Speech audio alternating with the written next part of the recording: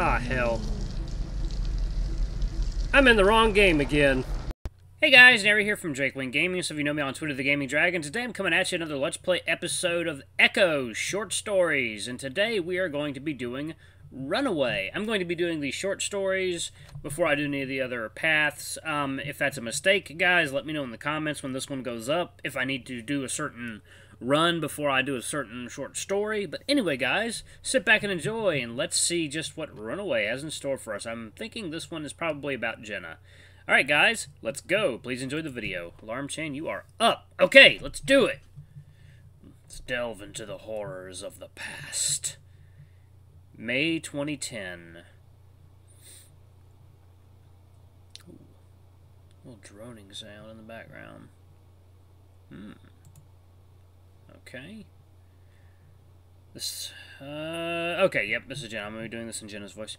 The sun has begun to set. If I want to avoid day, if I want to avoid Dad and Jeremy, I'll have to leave soon. I take another look around my room just to make sure I haven't missed anything. With my bookshelf empty and all the clothes packed away, it feels like a little, it feels a little bleak, gloomy. If not for the posters still hanging on the walls, you'd be forgiven for thinking no one had lived here at all. It reminds me of one of those TV shows where they explore abandoned haunted buildings. And while this place isn't particularly haunted, at least as far as I know, plenty of terrifying things have happened here. Part of the reason I want nothing more to leave the part of part of the reason why I want nothing more than to leave it all behind me. I zip up the duffel bag, not particularly easy with my paws trembling so much, and I take my phone out of my purse, reading Chase's messages again. He says he'll be waiting at the diner. When I ask if Leo will be coming along, he replies with an emoticon shaking his head. Figures. I hoist the duffel bag over my shoulder and waddle towards the door, snagging my necklace, the one Jeremy gave me, off the nightstand along the way. I put my ear to the door and listen for any signs of my family before even thinking of opening it. Usually I can tell when they're home by the shouting and screaming of Dad and Jeremy's daily arguments, but I want to be sure. Once I'm sure the coast, the coast is absolutely clear, I open the door and start walking. First out of my stuffy room, then out into the hallway, then out of my house. I lock the door and put the key under the doormat, looking over my shoulder at the house where I've spent the past 17 years of my life. Nope. nope. Don't, no auto, no auto. That's not what I want. Okay. It's just a house to me, not a home. Hell, school feels more like a home than this place does. I expected to feel, I've expected to feel regret sitting, setting, blah. I expected to feel regret sitting in about now, but I can only grin like an idiot. Simply walking out that door feels like an achievement. I don't think I've ever felt this kind of rush before. I'm free. I'm not going to become another Janice, working a mindless, soul-sucking job while, sigh while sighing to everyone who'll hear. Not listen because people in Echo never listen. About what could, what could and should have been. I'm going to college on the other side of the state, far away from this dusty, dried-up shithole. I'm aware of the consequences, of the potential problems that could await me, yet the pros far outweigh the cons. I run a finger over the gemstone in the necklace and feel a pang of guilt in my stomach. Jeremy will have to deal with Mom and Dad all on his own now. And while he certainly hasn't made my life any easier, he doesn't deserve that. Nobody does. If it hadn't been for Clint, he might have turned out all right. But I've made up my mind. And so I head towards the diner, struggling to keep myself upright, duffel bag in one paw, my purse in the other. And while people walking around with shifty looking bags at night isn't an uncommon sight in Echo, I stick to the shadows regardless. I try to resist the urge to look over my shoulder every three steps. Jeremy could be hiding in every shadow, or so my mind tells me. I feel like a child again. I really shouldn't have packed this much. These bags are way too heavy. After nearly tripping over several rocks, I can finally breathe a sigh of relief when the familiar lights of the diner come into view. On the other side of the road stands the motel, a lone car parked in its parking lot. Even as a dot in the distance, I recognize it instantly. It's Chase's parents' car. I walk over as fast as I can on these heels. Ah, it's nice to see Chase. Uh, for, it's nice to see Chase from another person's perspective for once. he doesn't have the goatee. Chase is leaning against his car, his face illuminated by the light of his phone. Once he notices me walking towards him, he slides into. He slides it into his pocket. With his paws still in his pockets, he walks off to the edge of the parking lot. The motel's parking lot is quiet and dark, but not unpleasant.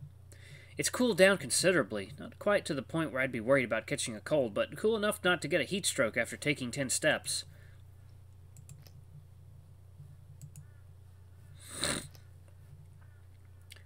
Let me handle this.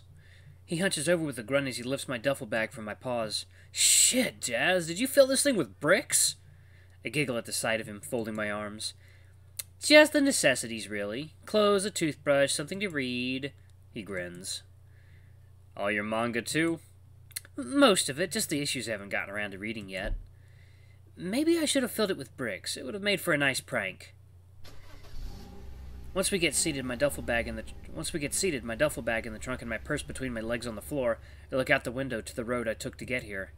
I catch Chase's eye. Ready to go? He puts a paw on my shoulder. It's warm, and his paw pads are a little damp with sweat, but it's the most comforting thing I've felt all day. I melt into the touch just a little. I nod. As ready as I'll ever be. I lean forward to turn on the radio. One of Chase and Leo's songs, or Flynn likes to call them emo garbage with shitty lyrics, starts playing. Probably explains why the car reeks of Leo's cologne.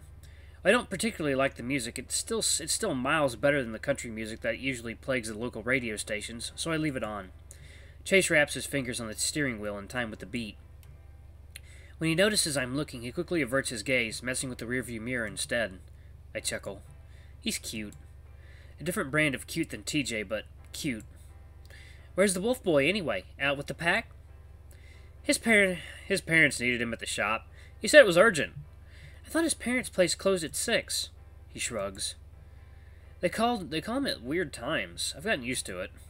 Still, he glances at his anchor anchor bracelet, eventually straightening it out so the tiny anchor rests on top of his wrist. It's a habit of his I've noticed ever since they went out to buy those things. You guys okay? He sighs. We've been better. I feel like like we've got different ideas about our future, where we're gonna take this this thing we have once we're done with school. I had a hunch. Well, less of a hunch and more noticing they weren't eating each other's faces last time I saw them. Do you want to talk about it? It's no big deal. We'll work it out eventually. It sure sounds like a big deal to me. Have you mentioned it to him? He tilts his head back. He tilts his head back. It's not just something you can bring up out of the blue, Jazz. If it's bothering you, you should do something about it. It'll just get worse if you don't. I'll ask him about it when I see him, he says with a tone of finality. The anchor drops from the top of his wrist again. We're on the road now, moving further and further away from the diner and the motel until they're just blue dots in the distance. If there's one good thing about Echo, I suppose it's the spectacular sunsets. It reminds me of all the evenings I spent at TJ's house, sitting on the backyard with his family, just to watch the sun slowly sink. Sometimes his mother would pull out a photo album and tell me all about where they came from, what nature there was like. Chase looks at me from the corner of his eye. We can stop if you'd like. If you want to say goodbye. I'm fine. My response is a little snippier than I would have liked. I make the effort to soften my voice. You can keep driving, Chase.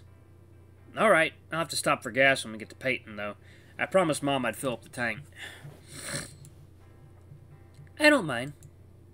I reach into my purse to grab my wallet, but he raises his paw.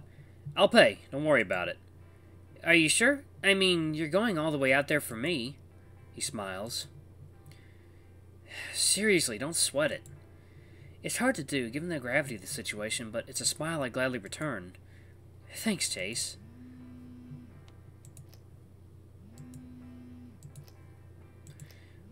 It's what friends are for, right? I take my phone out of my purse. Dad's calling.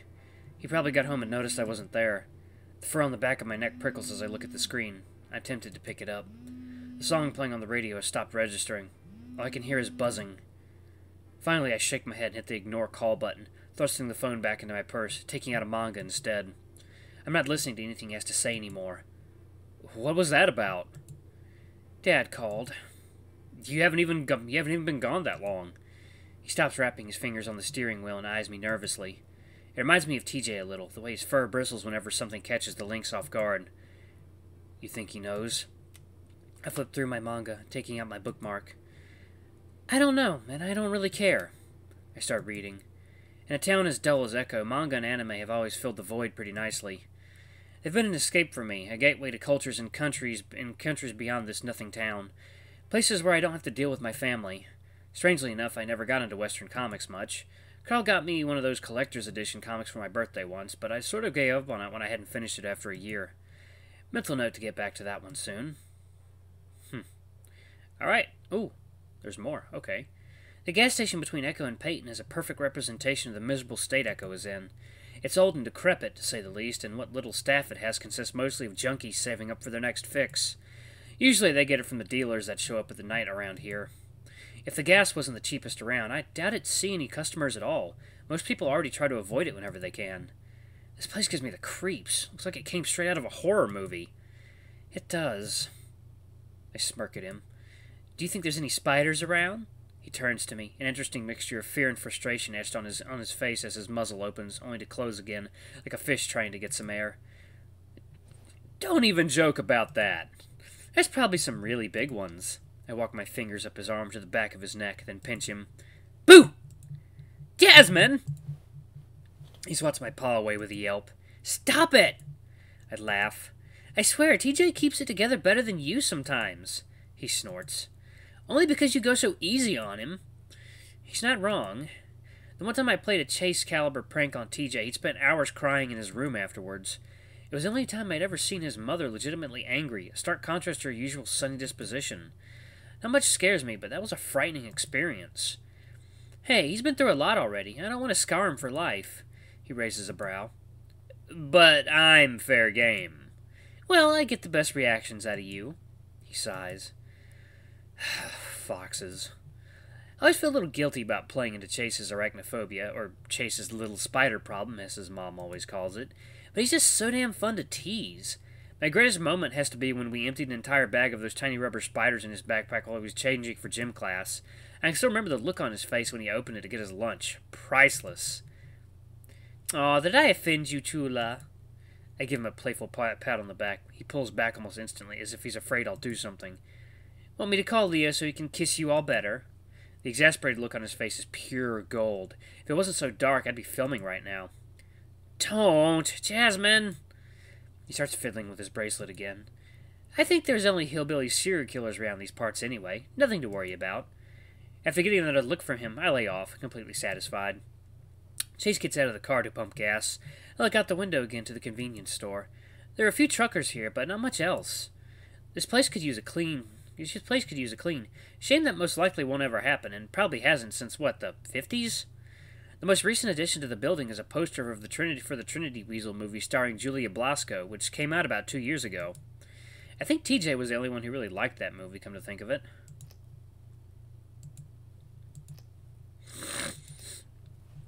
Oh man, why am I stuffy? My stomach rumbles when I notice the sandwiches set out on the counter. I eye the clock. It's about eight, and I haven't had dinner. Well, I could have grabbed something at the diner. I don't. I didn't want to risk Janice seeing me and calling my parents. The sandwiches they sell at the gas station may not be as fresh or as tasty, but they'll have to do. I make a grab for my wallet again, catching my phone mid-buzz. Grumbling to myself, I take it out of my purse. Fifteen minute, fifteen missed calls since the last one I saw. Fourteen from Dad, one from Jeremy. I don't know whether to laugh or cry, to be honest. I can only shake my head in disbelief.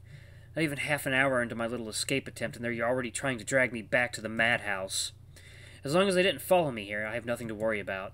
But I can't shake the thought, the possibility of them just showing up or calling the police, or a thousand other things they'd never actually do. I don't feel like leaving the car anymore. I don't feel all that hungry anymore either. Something light will do. I tap the window to get Chase's attention, then roll it down. Mind grabbing me something from the store for me, Chase? of course not. What do you need? I look up for my manga when he comes back, carrying a small plastic bag with the gas station's logo on it. One for you, he says it in a sing-song voice, dangling a strawberry-flavored popsicle in front of me, which I greedily snatch from his paw. And one for me. These popsicles come from Carl's mom's company. I've seen and eaten them more times than I can count. Back when we were kids, Carl used to boast that we were paying for his pocket money whenever he caught us eating one. Considering Carl's mom would always give us entire bunches of them for free whenever we visited, though we never had to buy all that many ourselves. You remember I like strawberries? That's sweet of you, Chase. I take a whiff of the familiar sugary, way too chemical scent. Well, it was the only flavor left in stock. I mean, yeah, I did. Better check the expiration date. It might be older than we are. The rest of this place certainly is. I take a little bite. I think it's safe. I'm not dead yet, at least. He laughs, unwrapping his own before producing two cans of soda from the plastic bag and handing one to me. That's a relief. That's a relief. Eating popsicles and drinking soda in the parking lot of a run-down gas station. It sounds rather silly in my mind, but this is really happening. I take another bite. So, have you figured out what you're gonna do to what you're gonna do? Blah. I think I might have to sneeze. No sneeze, go away. oh God. Oh God. Yep, that was a sneeze. So, have you figured out what you're going to do once you're done with high school? He fiddles with his bracelet again. I don't know. Leo's dad said he might have a job for me, but I don't think I'd make a good mechanic. I've got two left paws. I think I'd just destroy any car that came into the shop. Why don't you apply for college? You mean the one in Pueblo? He gives me a quick sidelong glance. That's really far away, isn't it? I don't know, Jazz. I can't just leave Leo behind. You've got your phone. Long distance relationships are a thing, you know. I crumple up the popsicle wrapper, putting it down in the ashtray. They're actually all the rage these days. I've got this friend who has a boyfriend who lives on the other side of the planet. I turn and look at him. You know, I think you'd be a good fit for college, actually. Smart, motivated. Really? I mean, I'm, I'm not, I'm not all that good at anything, really. I don't know what I'd go for. Maybe journalism or something? I mean, you were in charge of the school paper last year. You liked filming and taking pictures, right? And having a degree is always good. What are you going to major in? He finishes his popsicle, tossing the stick in the plastic bag. I'm going for psychology. Oh, like the inner workings of the mind and stuff? He pantomimes while talking, yelping when he hits his elbow on the steering wheel. I giggle. I suppose, minus the bruised elbow. I want to find out what makes people do the things that they do. So, what made you do the thing that you're doing right now? His expression takes a turn for the serious. Why did you decide to run away? For a minute, I'm speechless, all the heat drawing from my body as we look right at each other. I thought he was okay with me leaving when I told him, but now his tone is almost accusatory. This is a longer short story. I like it, though. It reminds me of Leo. I shudder, remembering the stink eye he'd given me when I told him I was leaving. A lot of things. I brush the fur out of my eye. And I'm sorry, Chase, but most of them are none of your business. I'm the one driving you to your new place. I think I deserve to know what's going on. He frowns. What did they do to you? Did they hurt you or something? None of your business. I grit my teeth. Can can we just keep driving, Chase, please? Jasmynn, please, I want to know. If you need someone to talk to, someone who can help, me, Leo, my parents, will do whatever it takes. You don't have to do this. You can keep living in. Is that what this is all about? I gesture to the soda cans, the empty popsicle wrappers in the gas station. Are you just stalling so you can convince me to stay? Jasmynn. He puts a paw on, his, on my shoulder. I know how you feel, but running away, running away isn't. You don't know how I feel. I smack his paw away. You don't know the slightest thing about my situation, Chase. You don't know what it's like to live in poverty, what it can do to people. And you don't know how it feels when no matter how hard you try to crawl out of that hole, your family will keep piling on even more dirt. I take a deep breath, realizing I'm clenching my fists. I want to live for myself, Chase. I want to go to college. I want to have a future. I can't do that in Echo. It's not the place for me. It never was. It's not the place for any of us. He shrugs. But it's home, you know? It's home for you. It's hell for me. I put my seatbelt back on. Adam's dead. Jeremy's huffing whatever the fuck he can get his paws on. And my parents. I cut myself off. I feel nauseous just talking about them. My parents just keep blaming other people for their own ineptitude. Carl, his great great grand whatever, you, Leo, everyone's fair game. I'm sick of it. Chase gently puts his paw on mine. This time I don't push him away. I feel drained, exhausted. I'd cry on his shoulder, but I don't even have the energy to do that. What'd they say about Carl? I mean, Leo and I aren't exactly Echo's darlings, but Carl, he's harmless. Apparently his family's the reason we're so poor. Never mind the fact that my dad can't hold a job. Hell, he can't hold anything save for a beer bottle. Shit, I don't even know how I didn't even know your family had a history together. We go way back. It's complicated. The story I'd always been told was that one of Carl's ancestors had his business had his business partner. One of my ancestors lynched for sodomy to cover up his own crimes. Jesus Christ, that's bad. Mm. My parents always conveniently left out the part where they were gay lovers, of course, but a trip to the library cleared that one up for me. Not that they cared. My breath slows. I've stopped clenching my teeth. I'm not trembling anymore, at least, which makes drinking my soda a lot easier. Finally, Chase smiles at me. Sorry about all that. I just wanted to look out for you, you know? Everyone's been really weird, been really worried. I know, and I'm I'm sorry too. I should have been I shouldn't have lashed out like that. Did you tell your parents what that I was that you're helping me? I told them I'd be taking Carl and TJ out to see the new Lions Brigade. He puts the keys back in the ignition. My mom's been asking about you, though. That warms my heart a little. Chase's mother is one of the nicest people I know. What'd she say? Just wanted to know how you're doing, if you're eating okay, that kind of stuff. She wants you to come over for dinner sometime. He laughs. "Eh, Maybe she's still hoping I'll go straight someday, huh? He backs us out of the parking lot. When I look behind me, I see a group of employees crowding around a rather shady looking wolf. I guess we're leaving just in time. Do your parents not like you? Do, do you. Blah. Do your parents not like that you're with Leo? My dad adores him. I think my mom still wants grandkids eventually, but she's been pretty supportive. She just wanted me to be safe. I chuckle. I'm not stopping until this is over. Slightly longer episode. Grandkids? I can't really picture you as a dad. Gee, thanks. He rolls his eyes dramatically. You're as sharp as a box cutter sometimes, you know that? I give a snout a playful poke with my finger. Just saying what's on my mind, Otter Boy. Don't take it too personally. There's a moment of silence before he speaks again. Hey, um, not to change the subject, but like, won't your family be able to find you over there? They won't. I've thought of something. What is it? I'm going to get my name changed when I can, once I'm 18. It won't make it impossible to find me, but hopefully...